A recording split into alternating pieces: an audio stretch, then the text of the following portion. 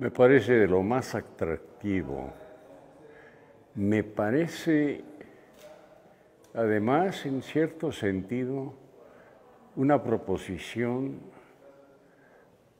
muy, muy interesante, porque hoy en la actualidad el espectador de cine, y muy en particular el espectador de cine mexicano, quiere tener en directo la opinión personal del autor de las películas que ve.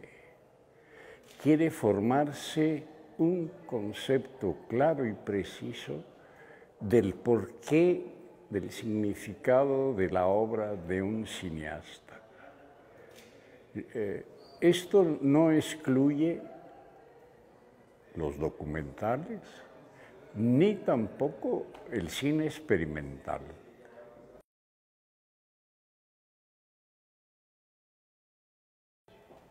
determinante, porque hoy en la actualidad ir a ver una película ya no solo significa un entretenimiento de un lapso determinado de horas, no es necesariamente un entretenimiento aislado de la vida diaria, sino casi siempre ahora, a pesar del género que sea, es un complemento de la información diaria o de la interpretación de la vida diaria. Por consecuencia lógica, el espectador asiduo al cine se forma una cultura de esta visión de las obras y requiere siente la necesidad de conocer al autor. De ahí a que el coloquio con el autor va a ampliar al espectador su apreciación sobre el autor y va a profundizar muchísimo sobre la importancia de los temas de los cuales habla.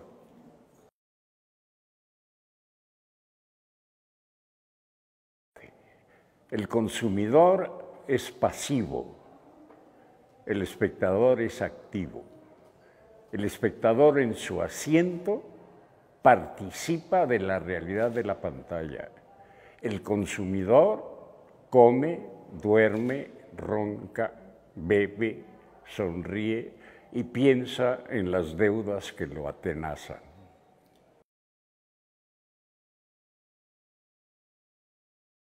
Y, me parece que ahí está un punto de interés que debería de tener más amplitud y una suerte de reflejo en otras latitudes mismas del país. Yo creo que la misma inquietud que se presenta aquí con el número de público que tienes presente debe existir en otras partes del país. Hay una enorme cantidad de gente cinéfila que ha integrado el cine a su vida diaria o a sus costumbres diarias y que le interesa saber, escuchar el porqué de ciertas películas. Las películas, a final de cuentas, se decodifican de manera distinta en los espectadores. Ya no es un género en sí, un bloque. El espectador sabe perfectamente definir qué son y cuáles son los géneros de cine que le agradan. Y fomentar eso me parece importante en el cine mexicano donde precisamente los cineastas mexicanos necesitan tener una relación mucho más cercana con su público y a la vez el público necesita conocerlos mejor.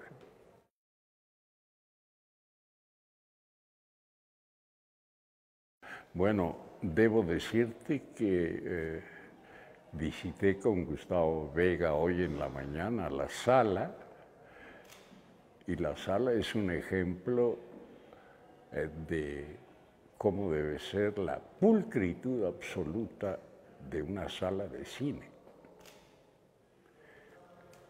La sonoridad, el confort reglamentario, la calidad de la proyección, el espacio, todo se presenta bajo las modalidades más exactas posibles. Esto tiene importancia porque hoy en la actualidad los hábitos han cambiado. El hábito del cortinaje que se levantaba antes de la película, dentro de un ambiente diseñado como si fuese un falso pueblo o una catedral o un palacio chino, todo eso ha desaparecido. Es la memoria de las salas de cine mexicana. Hoy todas son similares, pero no todas son de primera calidad. Y esta sala me parece que es de primera calidad. El Ágora pues se distingue por esa calidad.